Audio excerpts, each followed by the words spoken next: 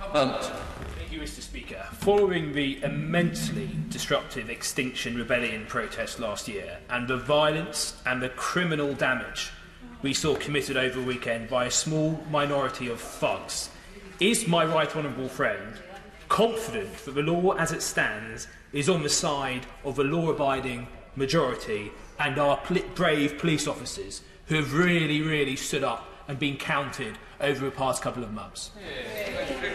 Well, my honourable friend is absolutely right to praise the work of our brave police officers and indeed all emergency workers who uh, put themselves on the line, particularly in the context of this crisis. And we are indeed in the process of looking very carefully at the sentencing maximums for assaults on emergency workers, and I will update the House with the progress that we will make on that.